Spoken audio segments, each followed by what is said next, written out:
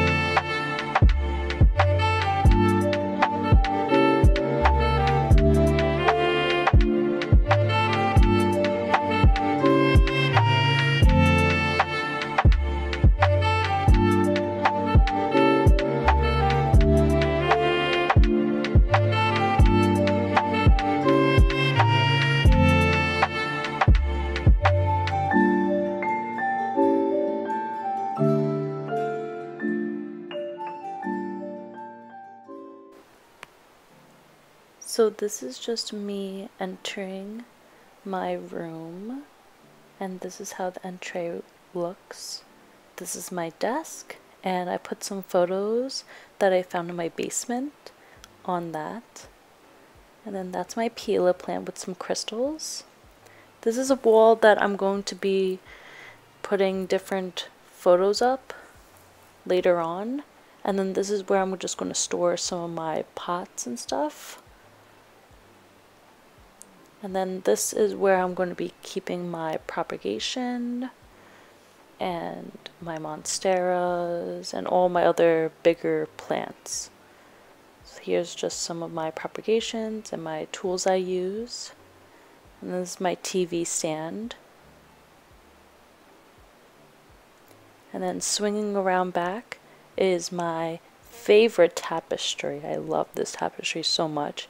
And those are my shelves, and this is my little bed corner, which I'm obsessed with. I love it so much. Oh my goodness. And then this is my rug that my mom got me, and I'm so happy. I got think I got this at Target. And I love it.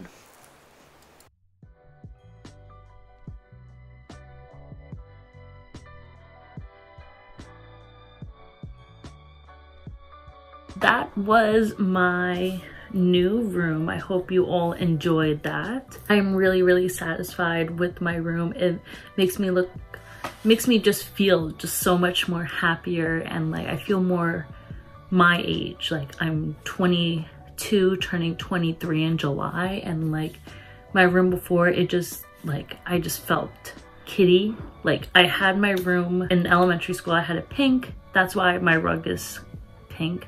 And then I think I was in seventh grade when I did the blue and the gray walls.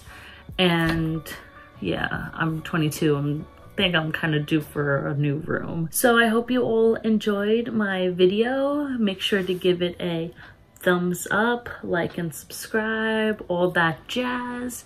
Make sure to follow me on my plant Instagram, Reba Jill underscore plant. I appreciate you, appreciate yourself, and appreciate others. Bye!